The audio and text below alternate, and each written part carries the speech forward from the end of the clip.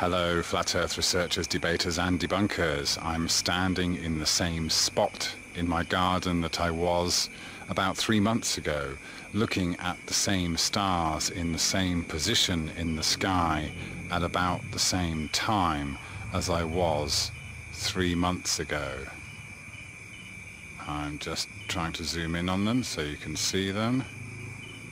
Uh, my point then was that this pair of stars in this constellation appear to get much, much wider apart as I zoom in. To me, that's evidence that the stars are very close and in the same layer.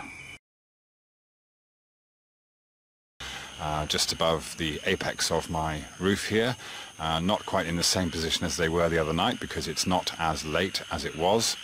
But uh, I will now zoom in on the pair and you will see we get the same effect. Okay, we get the widening of this gap just as before.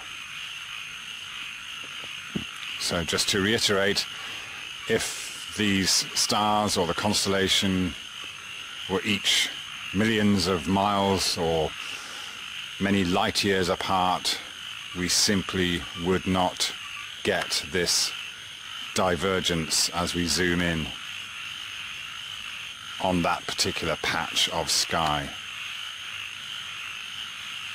Okay. I just wanted to show how uh, this is something that's really quite impossible on the spinning ball Earth. Uh, above the rooftop there um, we have the same stars uh, that we always see uh, going the same direction uh, in the same place in the sky every single night, every night of the year. It never changes. It's always the same. And if you imagine uh, being on the equator on a spinning ball Earth and looking up into the sky, say, I don't know, 50, 60 degrees, and seeing the very same stars every single night throughout the year, even though we're supposed to be hurtling round a big sun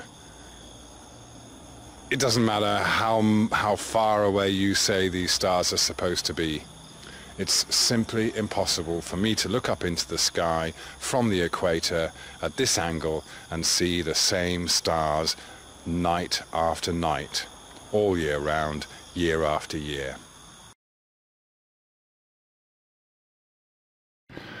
To illustrate my point here, I'm seeing the same stars in around the same place in the sky at about the same time of night all year round.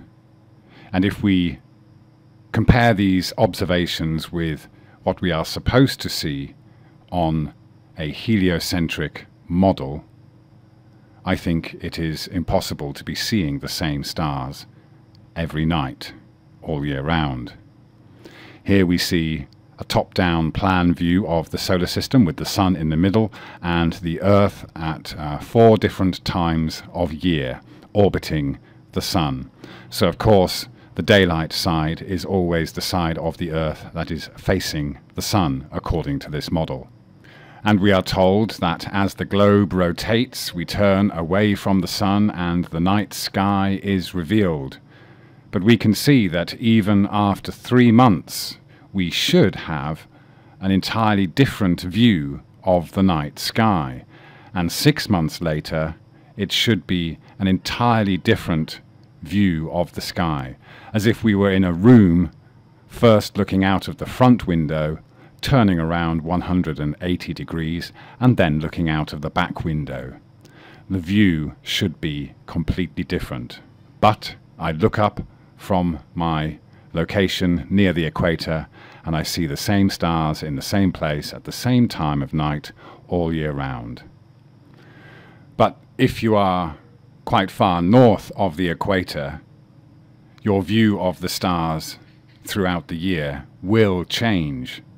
But this is only because the days are short in the winter and long in the summer.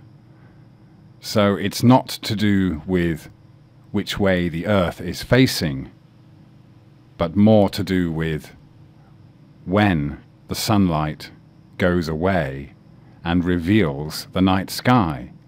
So when you have short days and long nights, you're going to see more stars than on long days and short nights.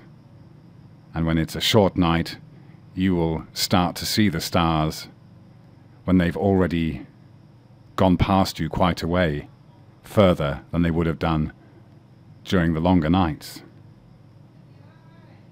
Thank you very much.